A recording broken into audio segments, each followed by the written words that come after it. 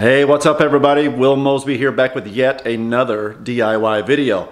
And in this video, I'm going to show you how you can add some faux or some fake beams to your ceiling or your tray ceiling that'll drastically change the look and feel of your living room or any room that you want to add them to.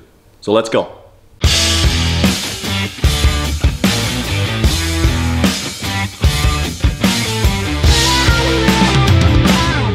All right, so in our house, we had this tray ceiling that was just kind of really bland and it offered up a great spot to add some some fake beams. Uh, this was literally my wife's idea. It's been two and a half years since being in the house. I think she's been begging for them for about two and a half years, uh, and I finally got around to doing it. So this really changed the look and feel of the living room. Pretty easy project. So we're gonna get into the build and uh, go through that step by step. We're gonna show you how to actually make the beams and install them onto the ceiling. All right, here we go.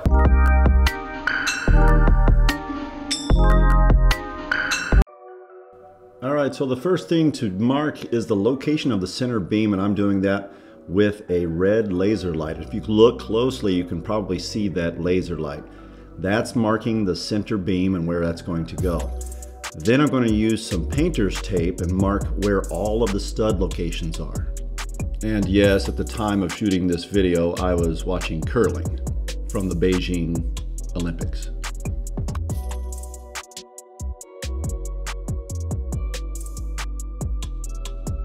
And since I was mostly a one-man team, I had to install a support block to help hold the support board.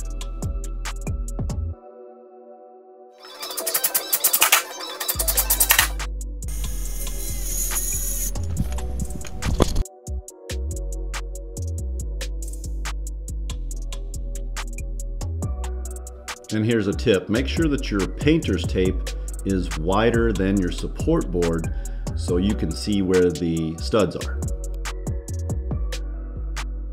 So once I got one side screwed in, I went to the other end of the support board and screwed that one in.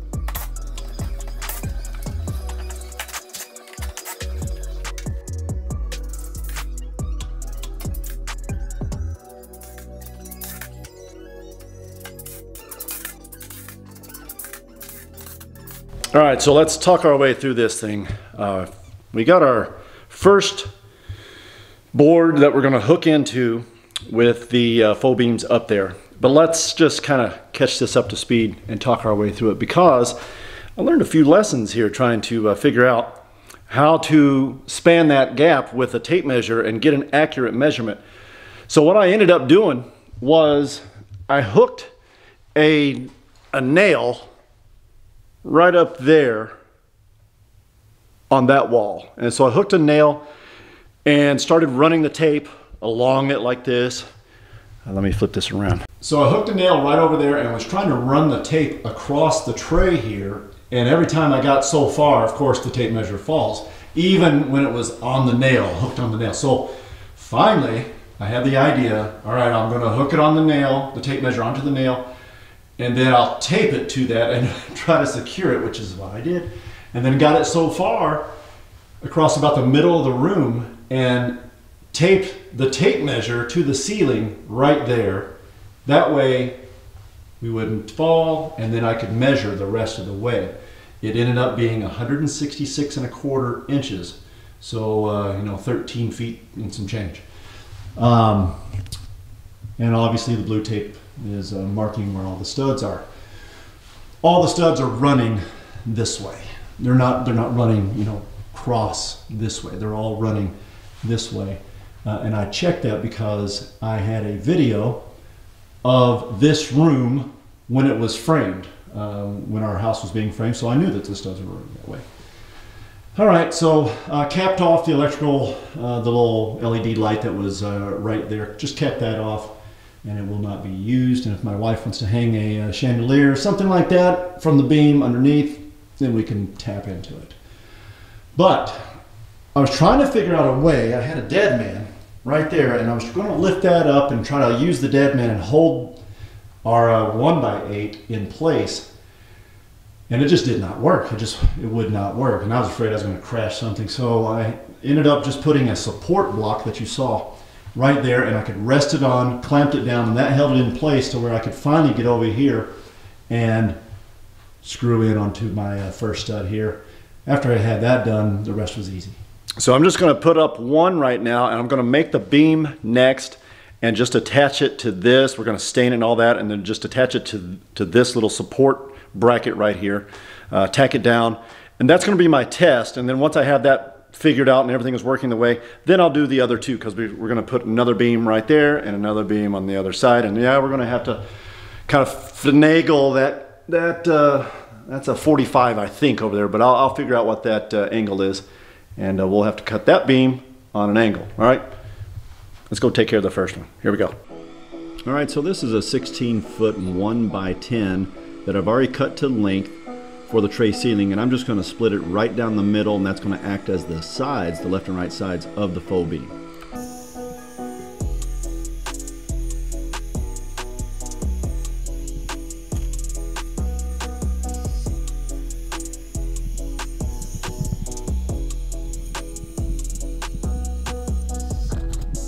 And I'm just going to do a little bit of light sanding on all the boards just to take some of the sharp edges off, but not really smooth it down because I want the boards to look a little rough. Um, I want character in them, so I'm not taking all that out with the sanding.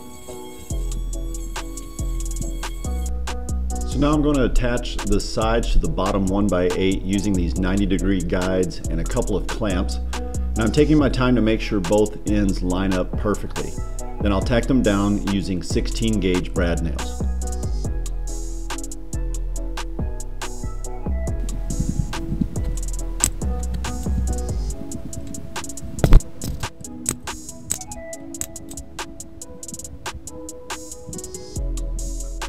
A good idea as you're nailing sections, you want to nail sections and go along the board, but use a clamp to kind of secure the two pieces together and get them exactly where you want them before you actually add the nails in.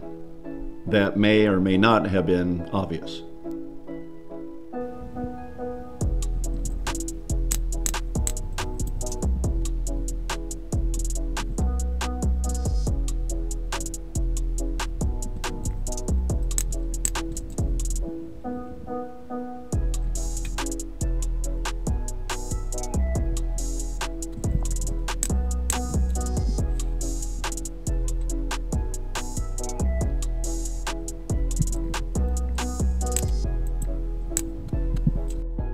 All right, so once you get both sides attached, you should have something that looks like this. And if you want to do some more sanding at this point, you can. Or if you want your beams to look a little more rough, take a hammer or chisel or anything and just rough up your boards a bit more.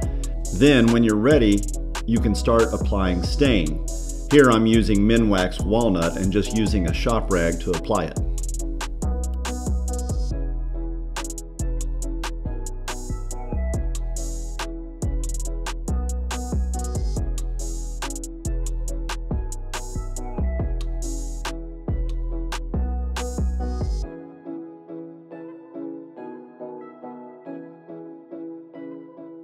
All right, so successfully have one up, got the second support board up there and working on the third, but this section right here obviously has an angle. Yes, I'm watching American curling right now in the Olympics. But I've got a, uh, a wall here that is at a 45 degree angle, uh, just real, real close. So what I had to do was over here on this board, the support beam. I'm two feet away, two feet here. So I found the center, that's where this one is, and then just worked two feet in, and then going to work two feet in.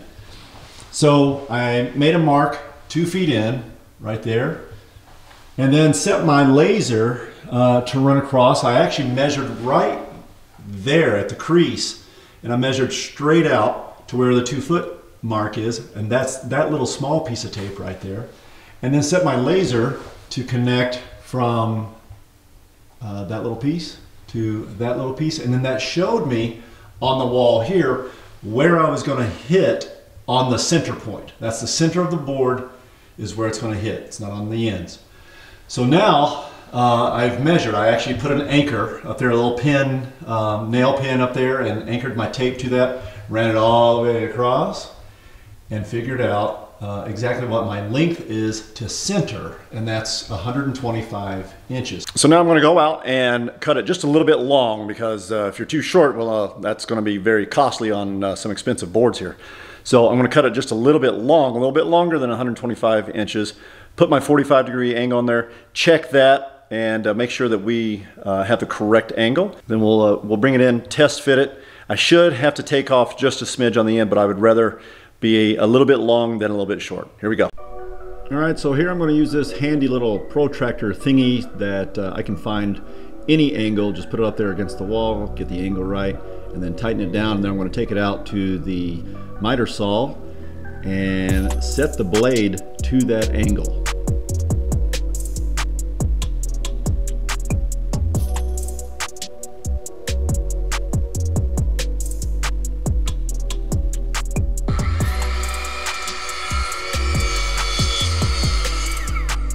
All right, so now after cutting our board and just kind of test fitting it, it was absolutely perfect.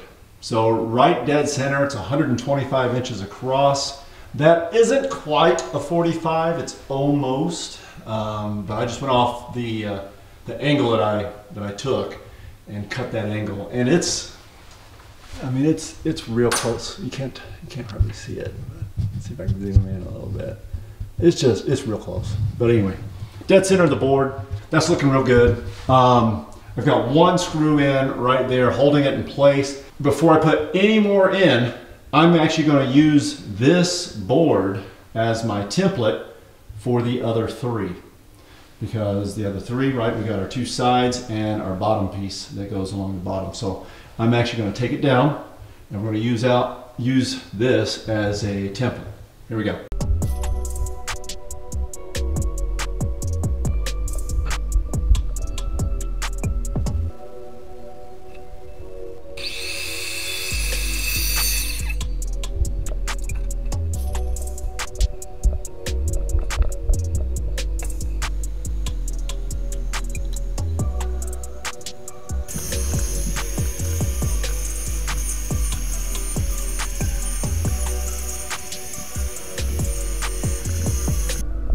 So now I'm going to take the support board and we're going to put it up on top of uh, two eight foot ladders. So luckily I am 6'5 and can reach that. And just put this on the little support block that I've got on the wall. Kind of tack that down with a couple of clamps, just holding it in place. We're not making it real tight, just making sure it doesn't fall off from left or right. And then we'll go to the other end and uh, screw it in.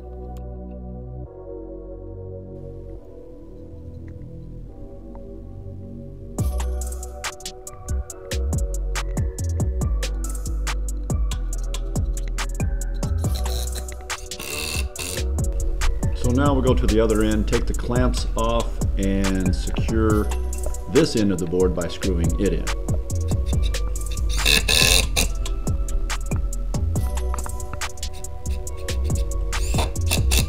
And now that both ends are screwed in, we can take the support block off and screw in the rest of the board.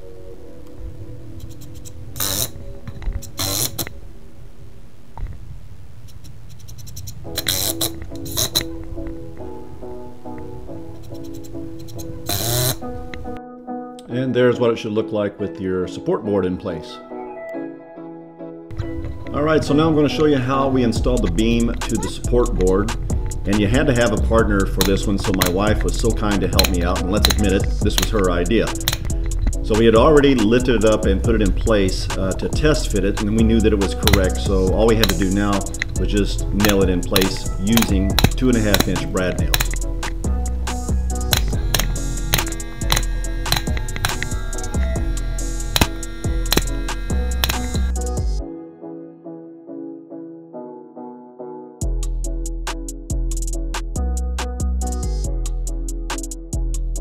Hey, so there you go. Hopefully you found this video helpful and now you can go out and add some faux beams to your ceiling if you so desire. But hey, before you go, if you're into this kind of DIY stuff, please consider subscribing to the channel. Click that little bell notification so that you are notified anytime I upload a new video and I will see you in the next video.